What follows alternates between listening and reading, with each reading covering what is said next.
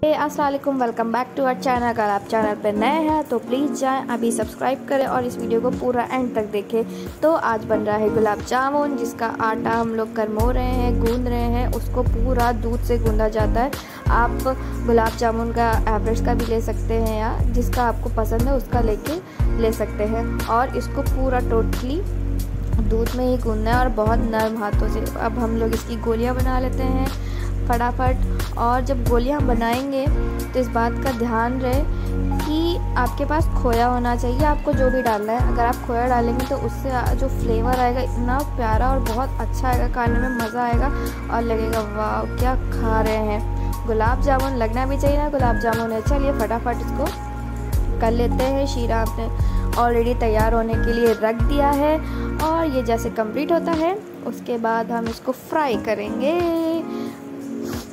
और और भी हमारे चैनल पे वीडियो है, उसको देखें और भी बहुत अच्छे अच्छे टिप्स मिल जाएँगे खाने के तो उसको जाके देखें। और यहाँ पे हमारा रसगुल्ला का जो रस है, वो रेडी हो रहा है और गुल्ले भी हमारे फ्राई हो रहे हैं। तो ये जब डीप फ्राई हो जाएँगे, ये अभी अपने आप ना फूलने लगेंगे। इतना प्यारा लुक आ जाएगा ब्राउन ब्राउन मुझे तो बहुत पसंद है। स्मेल ओ कितनी अच्छी स्मेल है। देखिए हल्का हल्का ब्राउन होना चालू हो चुका है और ये अभी एकदम डार्क ब्राउन हो जाएँगे धीरे धीरे करके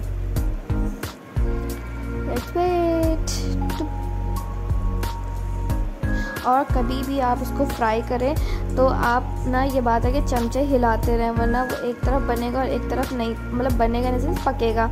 फिर इसको प्रॉपर अच्छे से हल्की धीमी आँच पे, फिर एंड में तेज़ आँच पे करेंगे। उसके बाद डायरेक्ट हम लोग जो शीरा तैयार कर लिया था, उस शीरे में डाल देंगे।